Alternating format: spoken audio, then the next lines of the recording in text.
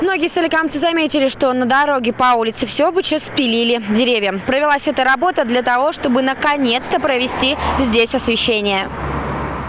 Если верить техническому заданию, то подрядчику, который должен будет провести электричество, нужно было срубить 167 деревьев и только с одной стороны. Проблема стоит давно, э, участок небезопасен, э, поэтому значит, были средства выделены бюджетом и был заключен муниципальный контракт на выполнение работ по э, устройству освещения по улице Всеобыча. Фонарные столбы, оборудованные светодиодными светильниками, появятся на нескольких участках дороги по улице Всеобыча. От остановочного комплекса «Сады» до остановочного комплекса «Третий район». Затем светлее станет от проходной СОМЗ до остановочного комплекса «Технологический колледж». А также свет будет проведен для автомобилистов от отворота на ЗМИ до остановки «Технологический колледж». Всего на улице Всеобыча появится 32 фонарных столба.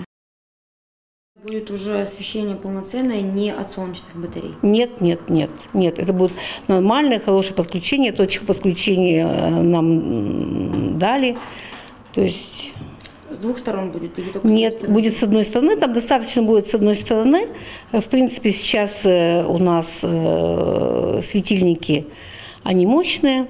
После завершения всех работ, как строительных, так и докомбинационных, эти светильники перейдут к управлению благоустройством. При этом в ближайшие пять лет они будут на гарантии. А пока подрядчикам нужно уложиться в сроки и сделать освещенную дорогу по улице Всеобуча за 45 дней. Осталось уже всего 30. Евгения Константинова, Максим Перелыгин, телекомпания «Соль ТВ».